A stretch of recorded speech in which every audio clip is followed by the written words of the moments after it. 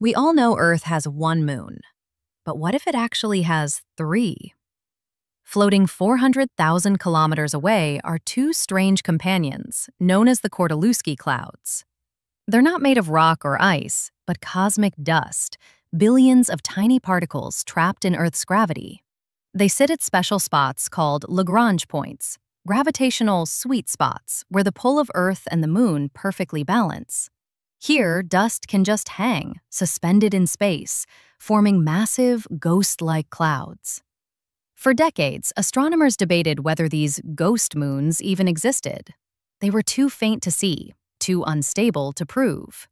Until 2018, when scientists finally captured polarized light from them, confirming they're real. Each one could stretch over 60,000 kilometers wide, shifting, fading, and reforming over time. They're invisible to the naked eye, but they've been following us for centuries, orbiting us in silence.